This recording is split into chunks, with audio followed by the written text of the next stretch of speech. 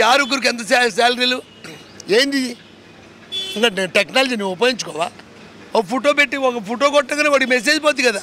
నువ్వెందుకు ఇంత తిప్పలు పట్టావు దానికి ఒక ఎస్ఐ నలుగురు కానిస్టేబుల్ ఒక ఇరవై లక్షలు పెట్టి బండి మళ్ళీ దా బళ్ళు పెట్టడానికి ఒక నలుగురు మనుషులను. ఇంత అవసరమా? ఆ ఆ మాత్రం తెలీదా? ఆ మాత్రం తెలీదైంది ఆ ఎస్పీ డీజీపీకి వీళ్ళకి తెలీదా? అంటే ఇప్పుడు నేను మాట్లాడా నేను ఎదవా? ఇప్పుడు నేను మాట్లాడే నేను ఎదవా? నేను మాట్లాడింది నేను మాట్లాడింది అంటే తప్పుందా? ఇప్పుడు ఇక్కడ బండి పెట్టాం నో పార్కింగ్. అసలు ఇండియాలో సిస్టమేటిక్ నడుస్తుందా? సిగరెట్ తాగితే ఐదు వందల ఫైను. నువ్వు స్మోకింగ్ జోన్లు పెట్టు. ఎవడు తాగుతాడు నీకు ఇక్కడ? నువ్వు ఏం పెట్టకుండా ఇంకా ఇంకా పచ్చిగా మాట్లాడాలంటే ఆడ ఉచ్చపోస్తే పది రూపాయలు అంటున్నాడు. పక్కనే ఉచ్చ ఫ్రీగా పోసిపోతున్నాడు ఆ మెయింటైన్ చేయడం చేత కదా? అందుకే ఇంత చెప్పుకున్న దున్నపోత మీద వర్షం పడ్డట్టే. ఎవడిచ్చి అసలు పది సంవత్సరాల క్రితం ప్రతి వాడి చరిత్ర తీయమను ఈ మోడీ అయినా కేసీఆర్ అయినా జగన్ అయినా పది సంవత్సరాల క్రితం తినడానికి దిగడం లేదు. ఇవాళ లక్ష కోట్లు ఆడించి వచ్చినాయి. ఏం ఆకాశం దించుకుంటారా? ఏమ్మా? పది సంవత్సరాల క్రితం వీళ్ళు ఎక్కడున్నారు చెప్పు.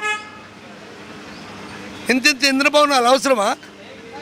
మన మనం మన సంపాదించే మొత్తం వాళ్ళ డ- దర్జాలకే పోతున్నాయి. ఒక్కొక్క మినిస్టర్కి ఎంత? వాళ్ళకి ఎంత సెక్యూరిటీలు? ఎంత ఇన్వెస్ట్మెంట్ పెట్టాలి? అవసరం మనకి? ఇంత ఇంత ట్యాక్సులు పెట్టి దేనికి? ఇంత ఇంత ట్యాక్సులు పెట్టి దేనికి? వాళ్ళ లగ్జరీల కోసమే.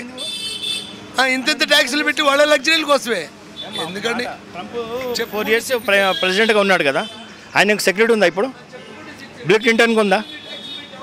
మళ్ళీ మీకు ఎందుకు అంత సెక్యూరిటీ మీకు ఎందుకు అంత సెక్యూరిటీ ఆయనకు ప్రజానాయకుడుగా ప్రజలు ఎన్నుకున్న నాయకుడుగా నాలుగు సంవత్సరాలుగా అంతర్జాతీయ అధ్యక్షుడిగా ఎదిగిన అయినాడు ఆయన దిగిపోయిన వెంటనే ఒక కార్ లేదు ఏమీ లేదు. ఆయన నా మామూలు మనిషిగా రోడ్డు పైన తిరుగుతుంటాడు. మీకు దిగిపోయిన పెన్షన్ ఇవ్వాలి ఇల్లు ఇవ్వాలి ఏంటండి ఇది? మీరు మన ఉద్యమంలో పాల్గొన్నారా? దేశాన్ని నేను ఒకటే మాట అండి అందరిలో గ్రేట్ అంటే ఆర్మీ మ్యాన్ అండి. ఆర్మీ సరిగా ఉన్నాడు కాబట్టి మన ఆ- ఆ మాత్రం మీరుగా నేనుగా ఇక్కడ నిలబడి మాట్లాడుతున్నాం. ఆర్మీ సరిగా లేదనుకోండి ఐ లైక్ జీవన్ సెల్యూట్. సెల్యూట్కి ఇవ్వరండి.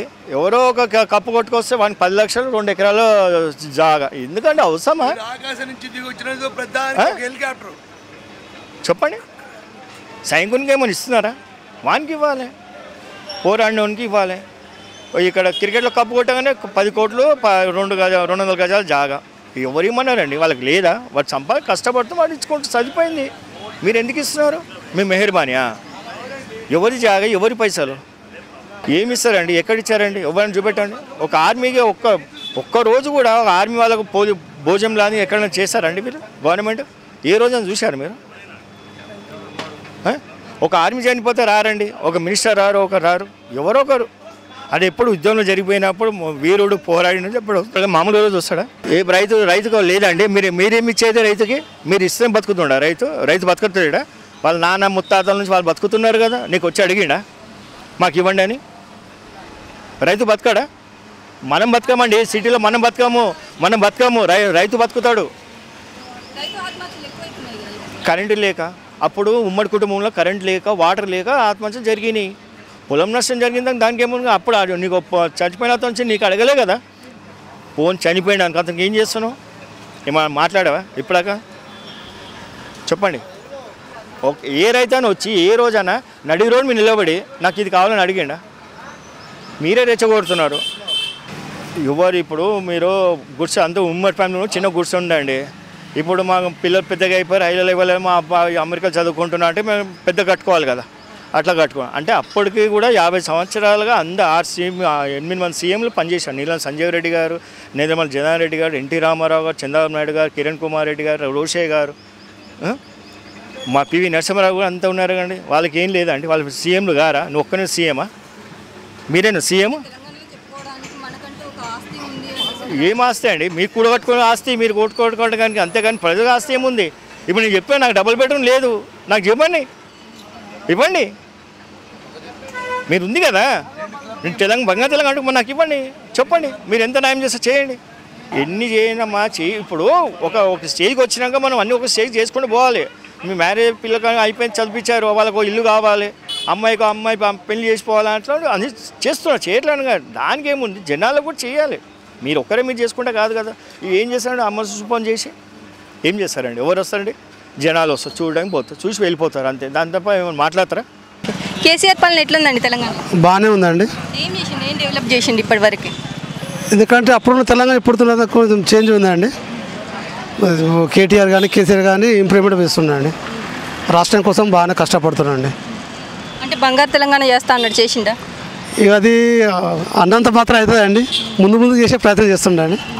చేస్తాడండి. అంటే బంగారు తెలంగాణ కాకముందే ఇప్పుడు బంగారు భారత్ని కూడా చేస్తా అనేసి పోతున్నాడు కదా. అది కష్టం. ఇప్పుడు ఈ ఇంట్లో గెలి- రచ్చ గెలిపినట్టు ఇక్కడ గెలిపింది అక్కడ ఎదుకండి ఫస్ట్ ఇక్కడ మన రాష్ట్రాన్ని బాగా చేసుకుంటే బాగా చాలండి. అంతే అండి. అంతే అంతే అండి. అంటే సెంట్రల్లో గెలిచే అవకాశాలు ఉన్నాయండి. లేదండి లేదు రాడండి సెంట్రల్ రాడండి. ఓన్లీ మన తెలంగాణలో వస్తాడండి మళ్ళీ. పక్క రాష్ట్రాల్లో కూడా నేను గెలుస్తాను అనేసి మీటింగ్లు పెడుతున్నాడు. మహారాష్ట్రలో పెట్టాడు మీటింగ్స్ రెండు ఇప్పటి వరకు. అది రాదండి ఏం సీట్లు రావు. అక్కడ జెండా బట్టే లీడర్ లేడండి ఎందుకండి ఇవన్నీ? ఇక్కడనే బాగు చేసుకుంటే ఫ్యూచర్లో బాగుంటుంది. తెలంగాణ అభివృద్ధి చెందుతుందండి. అంటే ఈసారి ఏ పార్టీ అధికారంలోకి వచ్చే అవకాశాలు ఉన్నాయండి? అంటే ఇప్పుడు మూడు పార్టీలు ఉన్నాయండి. కాంగ్రెస్కు ఉన్నది ప్లస్ బీజేపీ వస్తుంది టీఆర్ఎస్ ఉంది. అన్నిట్లో కంపేర్ చేస్తే మన టీఆర్ఎస్ఏ వచ్చేటట్టు ఉందండి అంటే బీజేపీ ఇప్పుడు బరిలోకి వచ్చే అవకాశాలు ఉన్నాయి అనేసి అని అంటున్నారు. తక్కువ అండి తక్కువ అండి తక్కువ. వస్తే సీట్లు వస్తే కానీ గెలిచేంత లేదండి సీఎం అంత సూచనలు లేవు. మళ్ళీ కేసీఆర్ వస్తాడండి. వస్తాడు తప్పకుండా. ఇటు కాంగ్రెస్ నుంచి వెళ్ళి కూడా రేవంత్ రెడ్డి గారు పాదయాత్ర చేస్తున్నారు ప్రజల దగ్గరికి వెళ్తున్నారు. అంటే వాళ్ళు కాంగ్రెస్ గెలిచే అవకాశాలు లేవంటారు లేవండి కదా దాంట్లో. సరైన లీడర్ లేరు. ఉన్నారు కావచ్చు కానీ సరైన లీడర్ లేరు కాబట్టి తక్కువనే వస్తాయి వాళ్ళకు. బీజేపీ తక్కువనే వస్తాయి వాళ్ళు తక్కువ వస్తాయి. వీళ్ళు ప్రతిపక్షం ఉంటారు. మళ్ళీ ఫామ్ అయితే తెలంగాణ గవర్నమెంట్ ఫామ్ అవుతుంది సెంట్రల్లో మోడీ గారి పాలన ఎట్లుంది? బాగుందండి. అంటే రేట్లన్నీ పెంచేశాడు ఆస్తులను అంటున్నారు మా- అప్పుడు ఉన్న రెండు వేల పదిల జీతం ఎంత ఉంది ఇప్పుడు ఎంత ఉంది? ఒక అటెండర్ యాభై వేలు జీతం ఉందండి అప్పుడు పదివేలు ఉండే. పెంచినా కానీ పరిపాలన బాగానే ఉంది అన్నిట్లలో సంస్కరణ ఒక జీడిపి తగ్గుతుంది కావచ్చు కానీ మిగతా మనకు ఒక most wonderful the leader dynamic అంటే మోడీ గారు అండి ప్రపంచంలో. అది మాత్రం నేను ఒప్పుకుంటా.